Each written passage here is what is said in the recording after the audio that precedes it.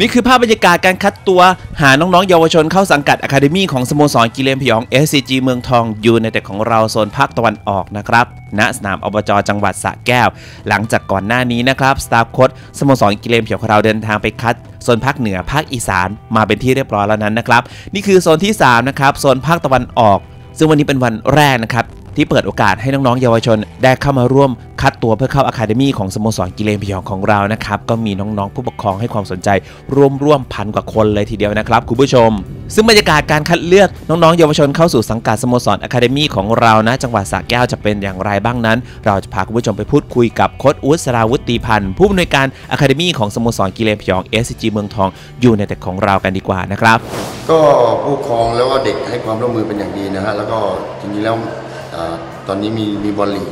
จริงๆแล้วอยากให้มากันให้มากกว่านี้นะครับพรุ่งนี้ยังมีอีกวันหนึ่งนะครับ ผมคิดว่าน้องๆที่ยังอยากได้โอกาสพรุ่งนี้เราเราเรารับอีกวันนึงครับ ก็ถือว่าโอเคนะครับ ต้องไปดูรอบ small size game รอบ 55 77 นะครับ หลายๆคนยังมีทักษะที่ดี โดยเฉพาะเด็กรุ่นเล็ก 10 ขวบ 11 ขวบ ผมคิดว่ายังมีโอกาสให้น้องทุกคนที่ไม่ได้ผ่านการเลือกไปกลับไปฝึกฝนคิดว่ายังมีโอกาส เพราะฟุตบอลไม่ได้จบที่การเลือกในวันนี้นะถ้าวันนี้เป็นก้าวแรก แล้ววันต่อไปเราจะได้รู้ว่าเราผิดพลาดตรงไหน เราจะกลับมาแก้ไขแล้วกลับมาคัดเลือกใหม่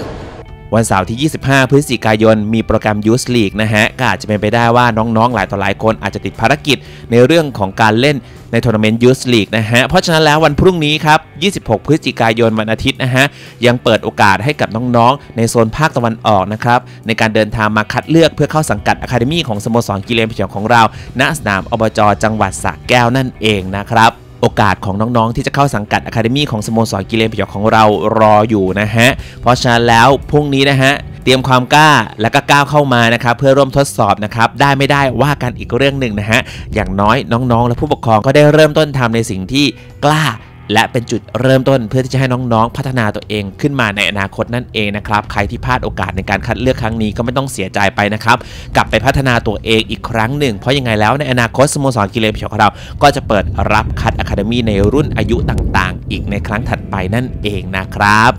อะพรุ่งนี้อย่าลืมมากันอีกเยอะๆนะครับสำหรับน้องๆในส่วนภาคตะวันออกณสนามอบจจังหวัดสระแก้วครับ